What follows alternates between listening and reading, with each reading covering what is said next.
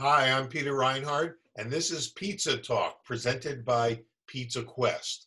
And today I'm with, I have to say it, the legendary Paulie Gee. And I say legendary, and I kind of chuckle because you have become a legend in the pizza world in a very short amount of time. In a way, you're kind of a newbie compared to a lot of the, the, the old time pizza guys. And yet it feels like you've been around forever. And and you have become sort of legendary and i we got to figure out why. How did you do that? How did you achieve such such legendary status in such a short amount of time? Well first of all it's 10 years now believe it or not that, that we've been open. it's not yeah. short anymore but i just i don't know. I think you know people like what i was doing and you know i was you know i wasn't uh, i was humble. I tried to be humble.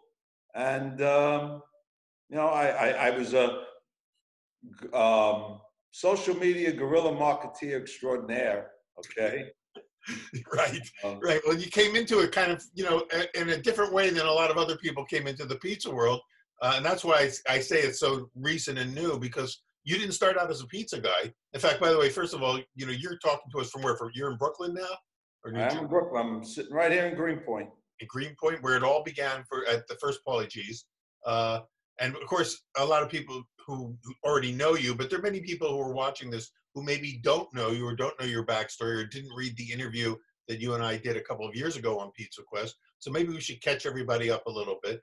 Uh, you came into this through what? Through IT, through the IT world, right? I was. I was in the I was in the IT world for 30 years. It was a career I chose uh, just because I thought it was the future. Uh, I thought maybe I was geeky, but turns out I wasn't geeky at all. And I tried to rise up through the corporate ladders. And you know, not not, not only women have a glass ceiling, okay? Guys who are, are not geeks that try to go, you know, to the top of the geek world uh, have a glass ceiling. Well, you were right that it, it was the future, but it just wasn't your future. Exactly, but I didn't know that. And, you know, it, and over the years, I mean, I I I fought very hard to to do well as I could to help support my family and uh, you know pay the bills that that were accumulating. But uh, it, it's sort of like, you know, if you ever watched anybody who wanted to be a drummer, play drums, but, but they didn't have that talent, it, very, it was very painful. In my case, you know, that's the way it was. But um, in the back of my mind, there was I always knew I wanted to do something else. It took a long time for me to get there, but um, it, it, you know, people. I would have people to my house. Love to cook love to entertain, not just cook, play music for people, uh, yeah. have great conversations. And, you know, when they'd come over, I'd find excuses for them to come, right? And when they did, they'd always encourage me, oh, you should open up a restaurant. And that was the last thing I wanted to do. You know, uh, you know I was doing this for like, say, 10 people, right? I couldn't imagine doing it for 100 or whatever. Uh, but eventually I had to do something because, I, you know, I wasn't getting where I wanted to get. And I didn't feel like I was being a good example for my children. Uh, and along the way, one of the things I chose to do, I thought that, that, that this could get me out of my rut. I, I be, my wife and I became uh, Amway distributors, multi-level marketing distributors. Uh-huh. And it, I, I, learned some things from that that um, were very important. Uh, I learned that I wanted to have my own business. When you're working for somebody else, you're working for somebody else's dreams, right? And so that seed was planted, and I, I wanted to do that.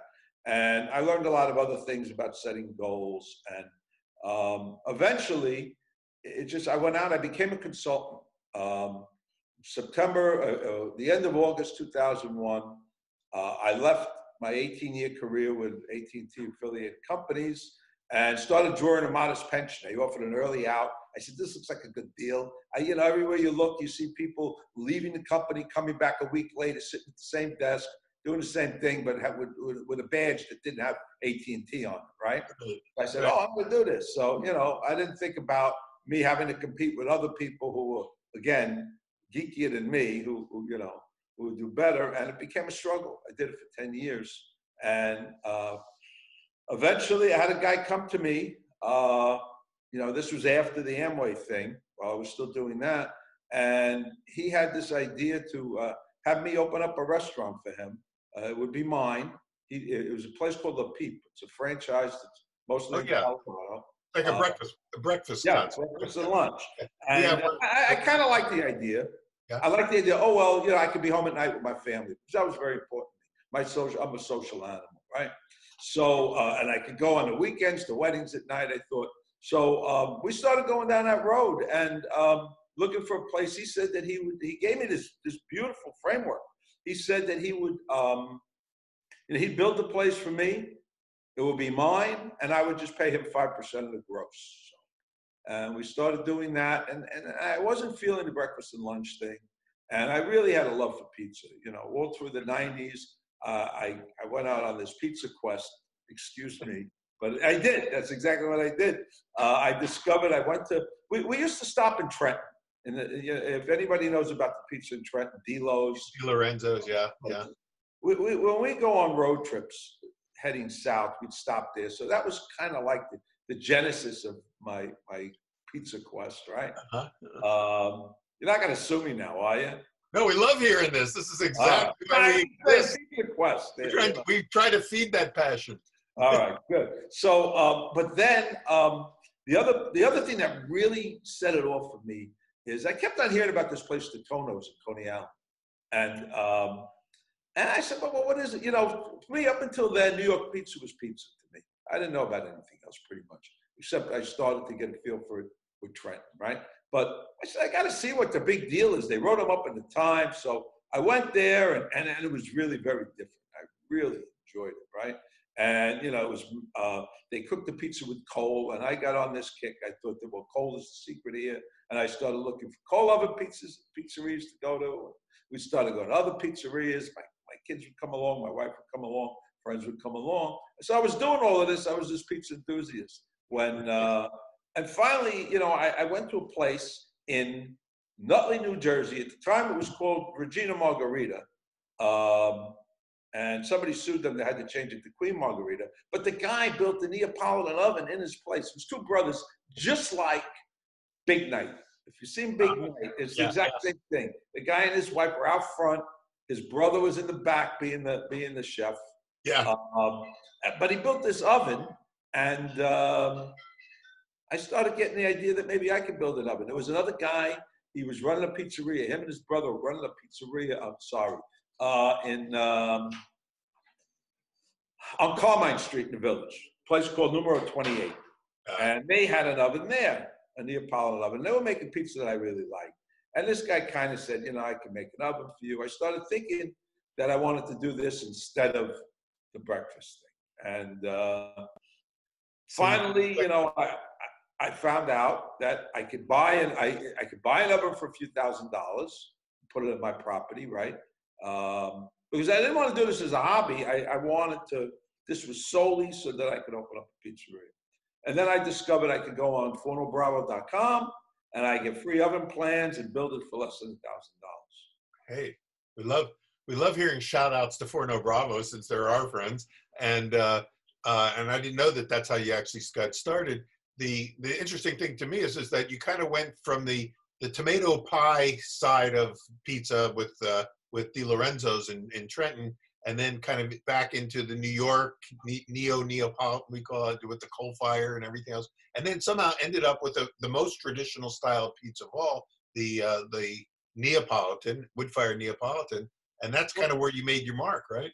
Yes, what happened was I like the romanticism of a wood-fired oven. I like that. I saw that it cooked quickly. I saw that it was a very simple process. So that's what that's the route I decided to take. And I built that oven, and you know I did okay building the oven. Thank God, my friend who wanted to open up, you know, the peep with me was able to help me. He he he was in construction before he quote unquote retired, and he had this passion for masonry.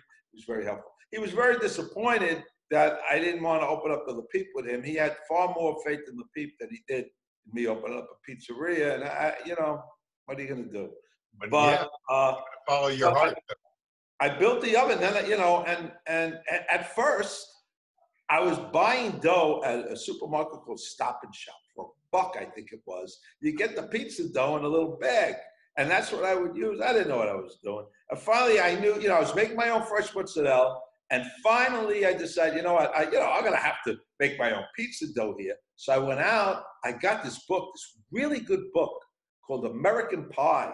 Oh, I heard of that. it, Yeah. In it was a, rest, a neo Neapolitan uh, pizza dough recipe. Yeah. And that's where my pizza um, dough recipe started. No, okay, it's that's pretty amazing to me to hear that, and it kind of warms my heart to know that I was I played this little role in your journey. Not a little role, Peter. Not a little role. And when you came to me at, the Pizza Expo that year and, and said you Yeah. want to have your picture taken with me, it was bizarre. Okay, it was beyond surreal. It was just bizarre.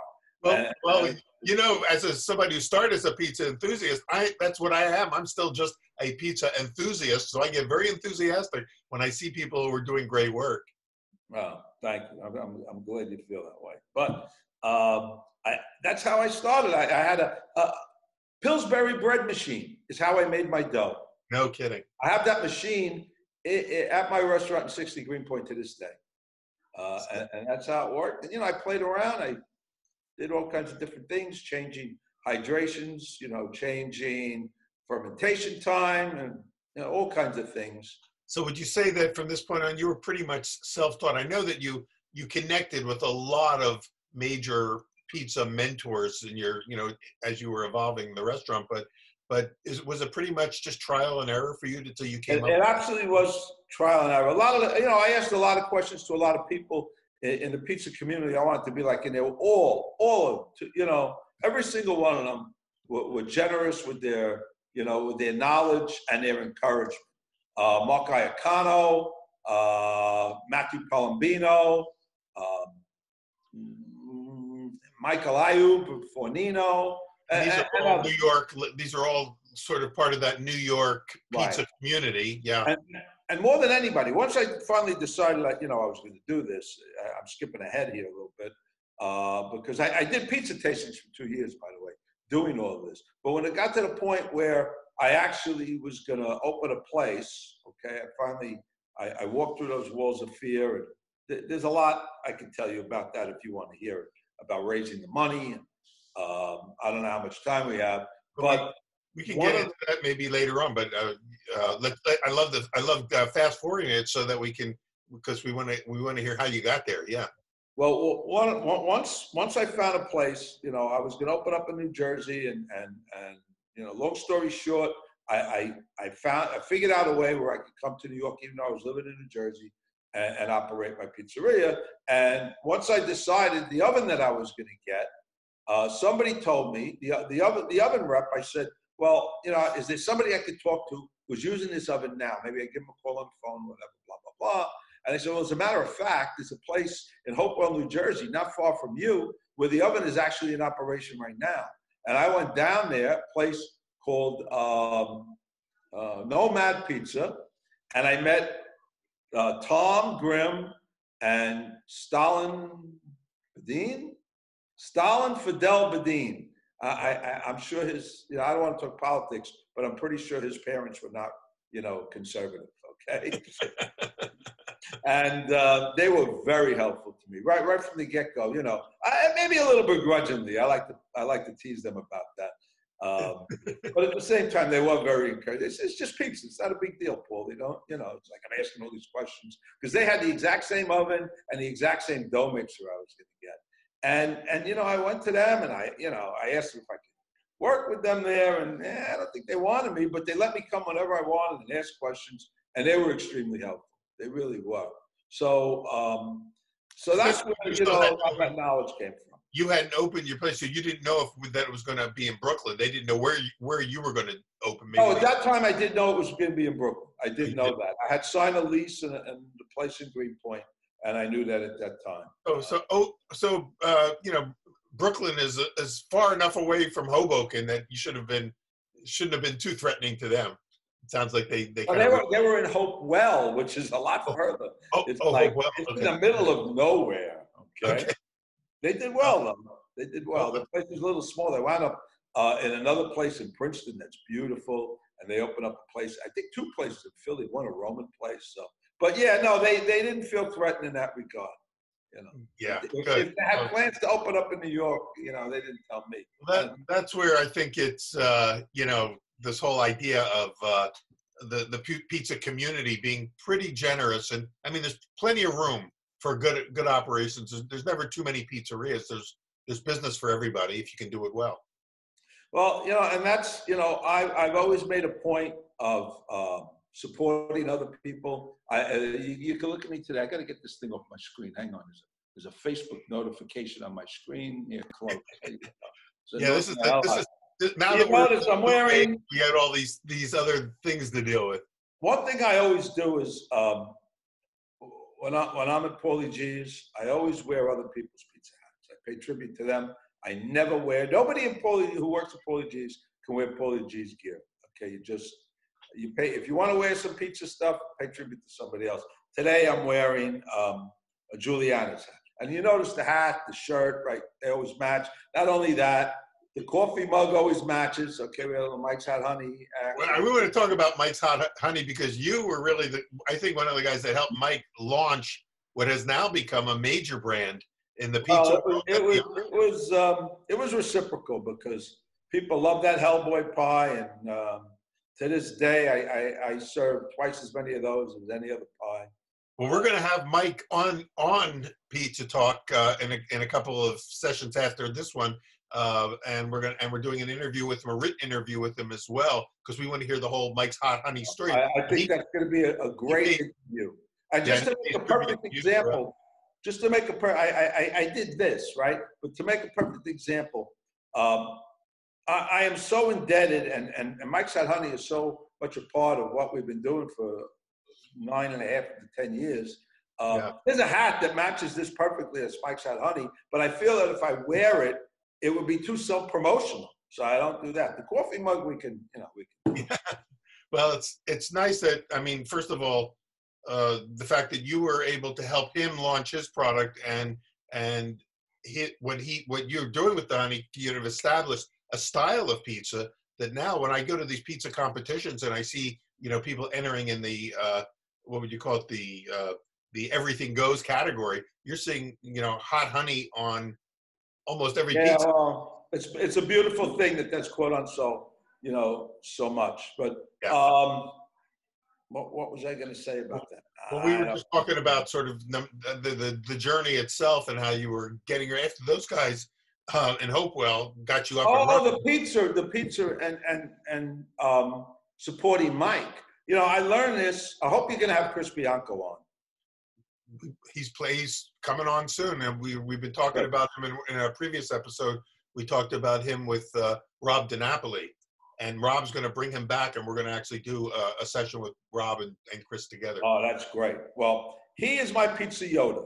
A lot of people are claiming to be people, or people calling people pizza Yodas these days. I think you call everybody a pizza Yoda. We, we have our own little section of pizza Yoda. pizza Yoda. I'm sorry, and that's Chris, right? Chris, Chris is the Yoda. I, uh, I, my son and I went. We we had my son had just graduated the Air Force Academy, and there was a whole bunch of family members, friends who went out to see it. And we said, well, we're going to go out. Let, let, let's let's go to Vegas afterwards and have a party, right? But I had been dying to get to Chris Bianco's place, right? So I said, Michael, you're going to come with me. We're going to go for the day. We're going to fly from Colorado Springs. Uh, we're going to fly there. We're going to we're going to eat at Pizzeria Bianco, and then fly to Vegas. Well uh, I tried to get a table. You know, you have to call 30 days in advance. Right. And, you know, within 15 minutes or whatever, it's gone. That's right. So I was very, I was very disappointed. I talked to Adam Kuban, um, and I asked him if he could help me. He he got a hold of Ed, and they wrote a letter to Chris um, saying, "Listen, this guy's coming out. His flight is at eight o'clock. He, you know, he doesn't want to miss his flight. Can you help him?" And um, I didn't even know they wrote this letter, right? all of a sudden one day I'm sitting at home, my phone rings. I still have the I have the recording to this day. I have it on my phone. Hey Paulie, this is Chris Bianco, Phoenix, Arizona, blah blah blah. uh, we were talking, we must have talked for a half hour. It was amazing, right? But he set it up. He says, look, come, call me when you get there. You come, we'll, we'll sit and we'll talk before we open, blah, blah, blah, blah, blah. So I called him, you know, we went to In and Out first. We didn't eat too much because I wanted to have an appetite. I had to finally go to In and Out. And uh, he met us. He said, "Come to my bar next door." And if you ever been there, I'm sure you have. Uh, he has this really nice house next door that, that's a bar that he uses for people to wait for tables because you know you have to wait like three hours for a table. There. Right. And, and that's part of the great experience there. You sit outside, you meet other people, you know, you, they have it roped off where you can drink. But, So we go and we sit in this, this bar and we start talking. He was so generous. He was just so encouraging.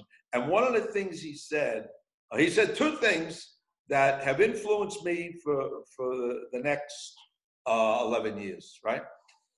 First of all, I said, Chris, what about fresh mozzarella? You make your own fresh mozzarella? You know, yeah, Paulie, I do, but you know why? He said, you can't get any good fresh mozzarella out of here. If I was like you, I was in New York. There's a hundred guys. He said just like this. There's a hundred guys that can make great fresh mozzarella. You should get it from them, support them, and they'll support you.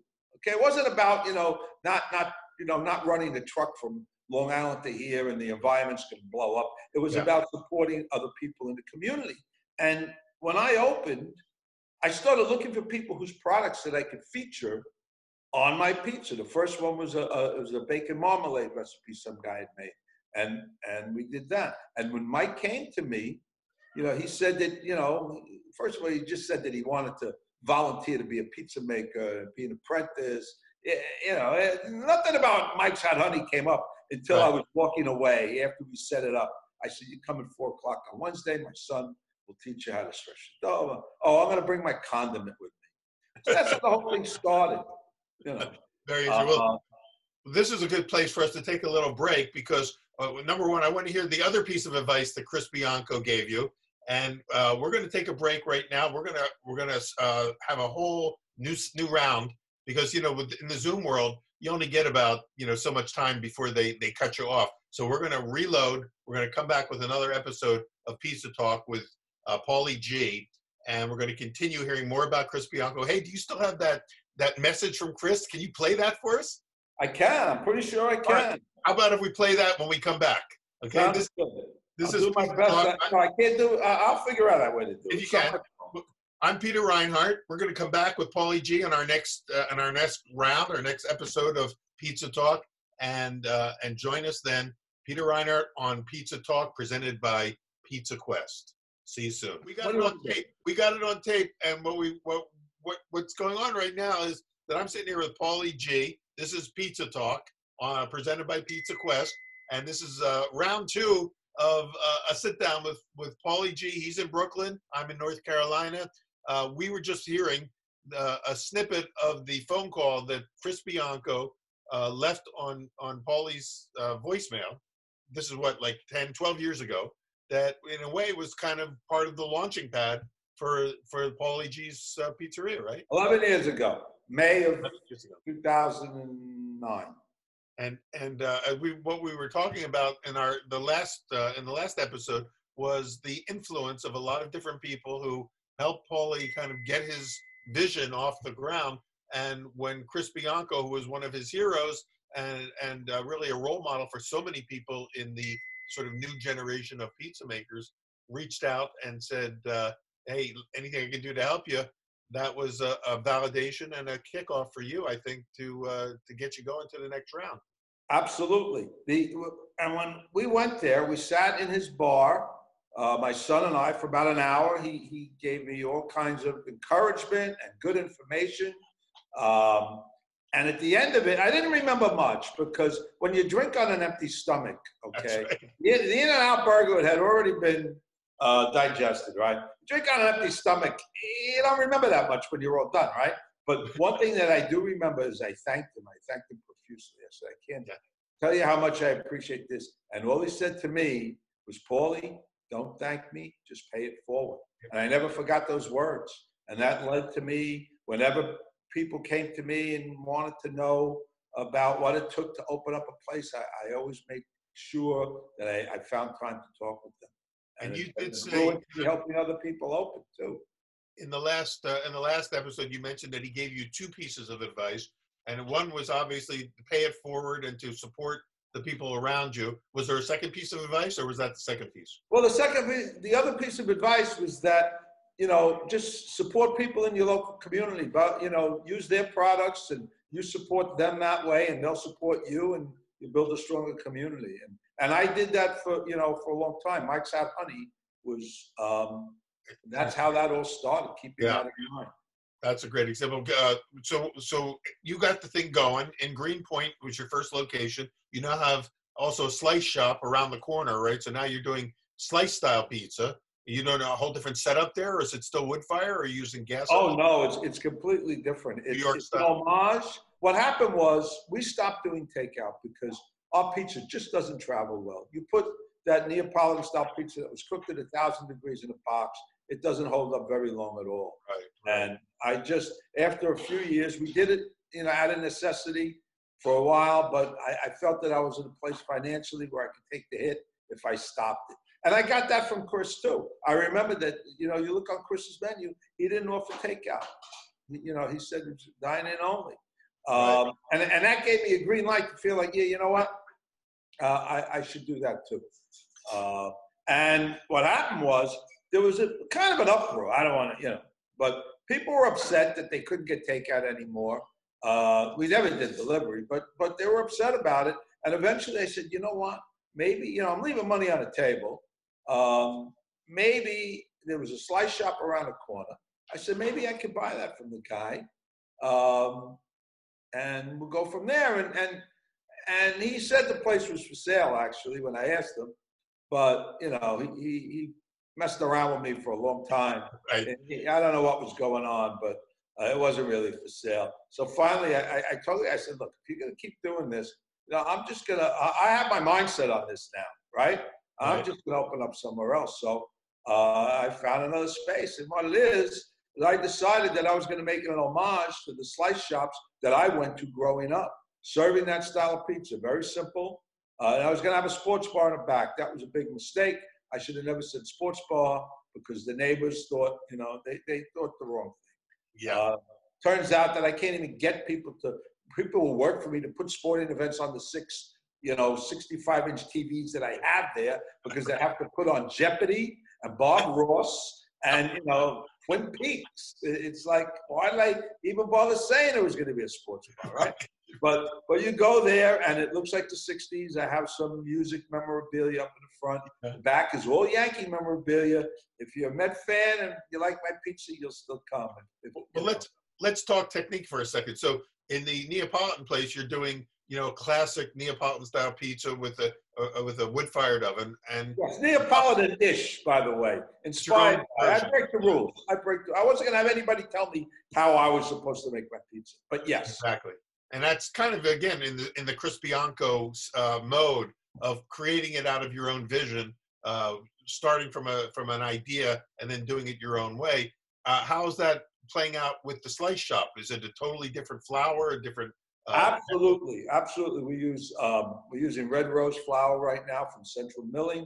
It's just it's a classic New York slice. It's nothing fancy. It's the stuff that you would have got in the '60s. I have a regular slice, um, pepperoni, uh, sausage. We have a white pie. No, no, no ricotta on that white pie. Okay, why? Little little aged a little fresh mutz, uh, romano, and a little, little. Actually, we don't even put the olive oil on anymore. Uh, it- is it like a no 16, is it a 16 inch pie that you're making or 18 inch? 20 or- inch. We're doing 20 Twenty- inches there because The slices are pretty substantial. Right. we're selling slices. What is And, this? um, but the other thing we have, we sell Sicilian slices as well. We Oh. have we have uh, a vegan slice with Vidalia onions. That's kind of an homage to the uh, sfincione from Sicily, uh, except for no anchovies, of course. Um, but the one thing that I did, there was a place in, in Whitestone, Queens, called there still is, called Freddy's, and they put sesame seeds on the bottom of their Sicilian. I love that. Oh, And all of us Sicilians have the sesame seeds. If, if, if you're allergic, I apologize, but you have to go with a regular slice. So it's all very classic, except for Mike's Hot Honey. We put Mike's Hot Honey on a few of our, our pies. do you put it out on the table too for people that want to just add it to? No, no, no. They got to buy that. Okay, they got to buy that. I know because Mike sent me some packets. He said, you know, we're, we're making packets now for people who want to just squeeze it on. Oh, the uh, packaging, great. Actually, that's what we send out when we have pies to go. We give them packets so that you know, because especially if you cut the pie, if you put that honey on there, by the time that pie gets where it goes, it's going to leak through the through the cracks between the slices. It's a mess. So, So that's it's how we do that. With the slice shop, then you can do pizza to go. And I'm guessing that right now, that's probably a good thing. Are you in, are you open now in this? this Yes, it's keeping, it's, it's keeping us alive, really. The, the wood fired place is completely closed. I wasn't gonna do takeout there because first of all, the pie doesn't travel well. And, and I do have the slice shop where I could serve pizza that does travel well, does reheat well. So I'd be cannibalizing myself. It didn't make sense. I had to take the hit. But that is actually keeping us afloat. Um, we've been very fortunate in that regard. I have a, have a great staff of people who, you know, they're very careful with everything, but they- they're still willing to work and, and feed the community. So we've been feeding, you know, we've been feeding all of the, uh, the hospital workers. We've been doing a lot of that. And it's, you know, we're Well, we've been hearing from a lot of pizza operators and, and also from Scott Wiener, who's, who is uh, working with pizza operators to feed the hospital workers. So imagine that you and Right, Scott Pizza partnered up a little bit. Pizza Pizza for Pandemic, I think it's called. We work with them on that, so. Oh, really? Yeah, very interesting. But, but the thing was, we're fortunate in that, you know, there are a lot of people, I feel really bad for them. You know, they have, they had a place that didn't, you know, they didn't do takeout. They weren't used to doing that. They serve food. Uh, they don't have a customer base that are used to picking up the phone or going on, you know, going on caviar or something to order. And they, they try, you know, it's like trying to turn an ocean liner, you know, on a dime, right? It's just, So how does it, how does it work for you then? If somebody wants to get, you know, just call and, and, and do a curbside pickup, how do they, how do they do it? Do you have a, people manning the phones and do they have a pickup? No, we, we, we never, I, I, see, I'm, I'm, I- you know, I don't like to brag about myself, but I'm a very smart guy, okay? Because I have no phone that you can call to order a pizza. There's no way I want to trust my, my staff to screw that up, right? You go on caviar and you order. If you want to, if you want to pick up, you could even, you know, you, we have a takeout button where you could, um, if you don't want delivery and you want to pick it up, you could order it that way. And they come, we have a little window, uh, where you could order, we have it all protected. Um, we, we keep people six feet apart. We have markers on the sidewalk and, uh, they put their order in or they come to pick it up and we pass it out the front door. We open the door, we pass it out, and that's how it works. And, and uh, business is good. It's obviously at this, even, Well, business is not good, but Not- it's, it's. it's, it's enough to keep it going. It's, right, it's almost, it's paying some of our bills. It's not Okay. paying all of our bills, but, you know, we're waiting for the government to help with that. They help, they helped everybody else. It's time to help us, okay? Some reason they think that the landlords don't have to lose any money in this deal, even though we're losing our shirts. The banks don't have to lose a dime. I'm waiting for that to straighten. Out. Yeah. Well, for those who are, are just joining us, we're talking with Paulie Gee. Uh, and about two years ago, Paulie, we ran an interview that, that you did with, where you and I sat down and we, we ran it on Pizza Quest. And I advise anyone who's watching this, go back and, and uh, in the interview section, just find the Paulie Gee interview because uh, uh, we have some great photos, first of all, of your pizzas. And, and also on the website, uh, the Paulie Gee website, you can see wonderful photos of, of No, no, no, no photos on my website. you don't have photos? No. Well, no. then you then you have to go to Pizza Quest and see them there because we ran some I mean, photos. there's other places to go, but I keep the website very simple. You know, where we are, how, you know, how to order, and, uh, well, you know, frequently asked questions like, do you have gluten-free options? Uh, Do you? My answer on that frequently asked question is, we have soda. You have soda. That's free. Gotcha. Uh, well, now you also have some other like uh, Paulie Gee's around the country that are people who are licensed by you, approved by you to open up. Yes, I do. name. So where, And where, that all grew out, that all grew out of uh, Chris Bianco encouraging me to pay it forward. Um, for, for a long time, you know, I, first of all, I, I designed my pizzeria for me to be there. I knew that for to really run well, I had to be there. Okay. And, and, I, and I was resigned to that being it for me. If, if this thing worked out, all I needed was one. I just needed to pay my bills. Right. But as things went on and, and we weren't doing well, I felt I owed, I have some investors. I own about 80, I own 80% of my place, but I, I have friends and family who invested and they own 20%. And I owned it, I owed it to them, right? Um, and I just felt like I owed it to this brand that I created. But um, I knew that I didn't want to, you know, try to open up multiple places. I was not interested in that at all, right? Uh, but I did learn through multi-level marketing, as well as Chris Bianco, that you can help yourself by helping other people. So uh, all along the way, up until that, that, that point, people would come to me. People like Caleb Schiff out in uh, out in uh, Arizona in uh, Flagstaff. Um, there were people from England who came to me. Uh, people from Toronto. Um, people from Toronto. I want to, you know, I, I sent to people who uh, they wanted to do slices. I sent them in that direction. Um, but people would come and I, I, you know, I talked to them about what I did and I'd encourage them. Uh, and eventually, uh, you know, I said, I got to do something. So I decided that I would take what I learned and I, would make it available to other people, at, you know, at a price. You know, they, they use my brand, they take advantage of my marketing. They can come and, and, they can work in my restaurant for as long as they wanted. They can send anybody who worked for them to my restaurant to work there, and um, and they open up their own place. It's very important that um, it, it felt like it was theirs. And so they, they did everything from start to finish. They, they went out, they found a real estate, they did all of that. You know, I advised them on that. I, I, I worked with them. Um, and they started out with maybe about about three quarters of the pies were mine for my, you know, my, my greatest hits. Um, and then they would they would start coming up with their own pies to the point uh, now. Where are some of these places that you're talking about? Um, Baltimore, a place called Paulie Gee's Hampden. I, we, we always like to, to name the place after the neighborhood it's in, not the city it's in. Uh, Paulie Gee's Hampden in, in, in Baltimore, uh, Paulie Gee's uh, Short North in Columbus, and Paulie Gee's um, Logan Square in Chicago. We also had Paulie Gee's in Miami. It was Paulie Gee's Miami because the neighborhood they were in was called the Upper East Side, and that would just be way too confusing. Yeah, yeah. But uh, unfortunately, you know, you, you, you, have to pick the right location. Um, we didn't pick the right location, and sadly, uh, Paulie Miami is no more.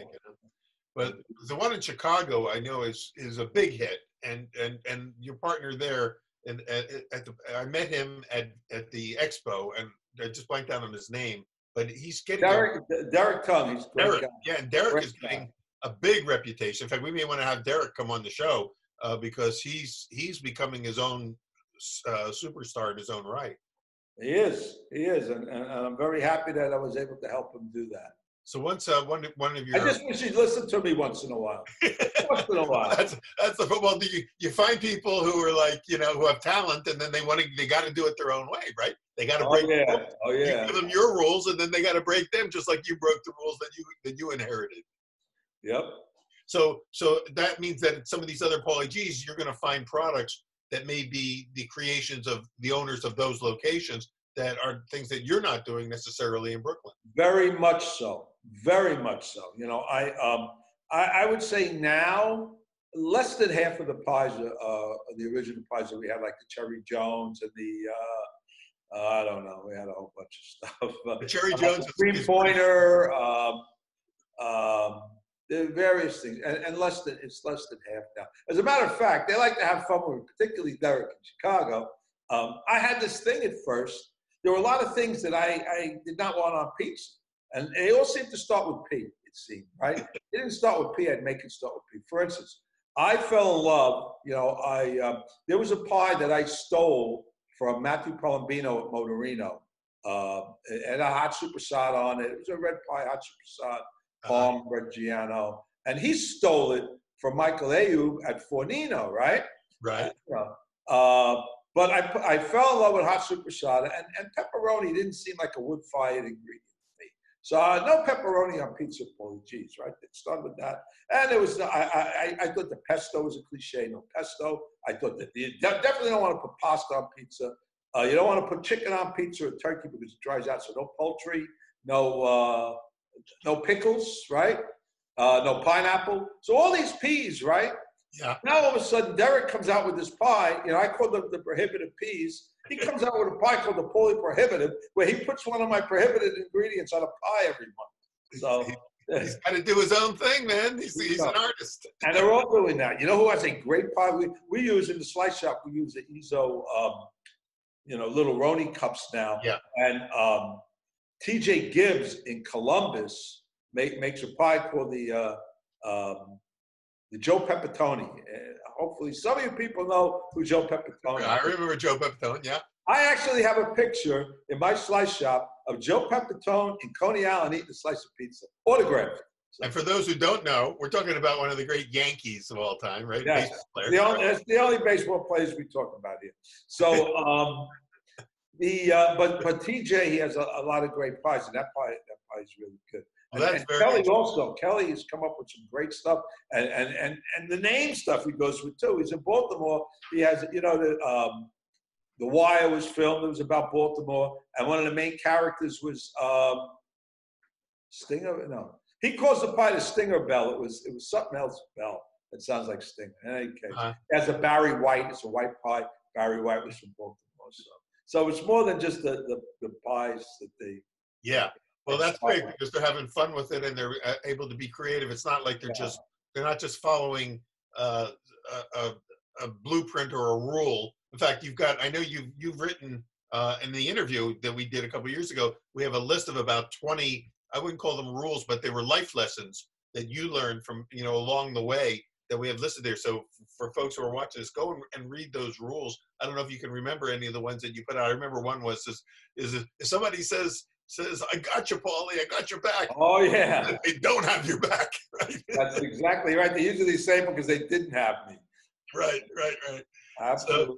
So, so uh, it's been quite a journey for you, and, and and one of the reasons why I'm glad we're talking about some of the other places is that uh, we were talking about the Yodas, uh, the the and and you you cited Chris as sort of the Yoda of Yodas, but we've got a little panel going called the the Pizza Yodas with uh, John Arena and Brian Spangler, and we want to keep adding to that panel. We like to add people like you, and and one of the criteria I think for somebody to be a Yoda is that they really get this idea of passing it forward, of being a mentor to the next generation. So we're not only, you know, identifying people who we feel have been mentors and, and influential to the next generation, but we also want to start identifying some of the up and coming Yodas, the ones who are who are in sort of in the early stage of their career, but who have that same spirit about them, because we're building a more than just uh, a series of pizza restaurants around the country. It's a community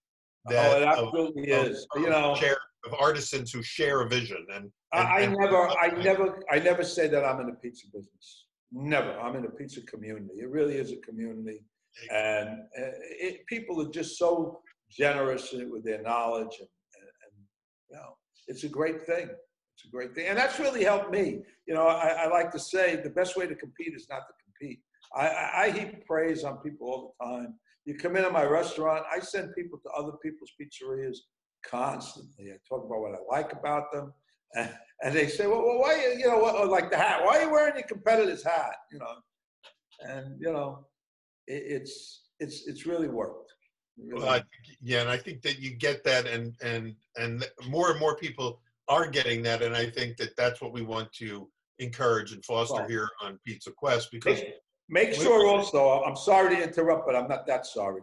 Make sure that you get Vincent Rotolo involved, okay? Because Vincent is, is another one who loves to share information with other people. He came up with a great gluten-free recipe. He spent a lot of time working with Derek in Chicago. Derek wound up wanting, winning a trip to um, Parma to compete. By the way, food is an art, not a sport. I'm not a big, I'm not big on the competition thing. I just want to put that out there. but in any case, yeah. he won a trip to Italy, and, and a lot of it was because of the help that he got from Vincent. Vincent is a uh, is a great guy. Where is Vincent based? Vincent's Where's in Vegas. Where, where does he right now. He's uh, he's he's, he's, oh, he's, right. he's okay, the yeah. Pawn Plaza. The Pawn Plaza. That's P A W N, by the way, in case some of you guys thinking the wrong thing, guys and girls. Okay. Okay. Pawn yeah, Plaza. Um, he's working on another spot now too. I see him. That's where I see him in Vegas at the Pizza Expo every year, and I and I, I, keep forgetting he's actually based right there in Vegas, and and he is. He's another one of these. He's a, an up and coming, you know, superstar. He's a rock star in the pizza world, and uh, we want to get him on. There's a lot of uh, a lot of people that we want to get on because, as you say, uh, everyone is sort of part of this one large community. We we believe Pizza Quest is always about celebrating artisans wherever we find them, not just in the pizza world, but in, in the whole greater community. So we want to get people that are doing great work with cheese, with tomatoes, with flour, with uh, with, with it doesn't even have to be pizza related. It could be beer, wine, uh, anything in life where they bring the same passion and the same sense of sort of the vision of of searching for something a meaningful life, uh, which which is something that you know without you having said it directly is what you keep talking about as you as you expressed how your own vision has unfolded. And i really appreciate that about you know you and and you sharing your journey with us. I'm, I'm, I'm very fortunate that I- I was able to navigate my way to doing something that supported myself and my family that uh, that I truly enjoy, and and I think I, I do it well because I truly enjoy it, and I want to encourage other people to do that. There's so many people out there that are just going along, and you know you, you have to step out, and you you know you have to take those chances. You know, It- it's and there, Well, there are people there who help. you. Exactly and yeah, reach out and and when people reach out to you reach back um, before we, we wrap things up because we want to get you back uh, uh, another time and, and do some more sessions with you maybe have you join our our yoda panel our pizza yodas and be part of more of a roundtable discussion but um, uh, how about a shout out to your wife mary ann she's been instrumental in the uh, development of Oh, poly oh, G's, oh. right can you can, Well, can- well, can you tell us a little bit about thing doesn't happen at all. He- he- She just, you know know, she, you know, she, she knew I wanted to do this, and she knew we were taking a big risk, but she knew that I wasn't going to be happy if I didn't do it, and you know, she made it all possible. And, and now, you know, she was working a full time job for the longest time, up until maybe a year and a half ago, I think. Not sure, but um, and she was very helpful um, as as much as she could be. And, and now, now, now that you know she's retired, uh, she's even more helpful. And um, you know, it's just just a it's she's a very good writer she's a very If good writer i've seen some to things she's camera, I, I bring her on. Really? Well, I haven't. We'll get her back that. next time. We'll do. Well, how about if we do? You haven't seen her writing? No, she doesn't look prepared to be on camera. Yeah, next time we could do that. So. Uh, you know, uh, well, Scott interviewed her Okay. last week. Uh, my internet connection is No, gonna unstable. have to says cut here. this. Yeah, yeah. We're, I think what we're going to do is uh, we're going to wrap things up today. We're going to have you come back another time, and uh, we'll continue the never-ending discussion of you know the world of not only pizza but the world beyond pizza with uh, the legendary Paulie Gee. Paulie, thanks so much for being with us today. And uh, folks, uh, thank you for joining us on an, an honor, Talk really. and Pizza Quest. Uh-oh, It's an honor to be on with such a legend. It's very humbling. Very humbling. It's an honor to be on with Thank- such a legend. thank It's you, very humbling. You got it? Well, right.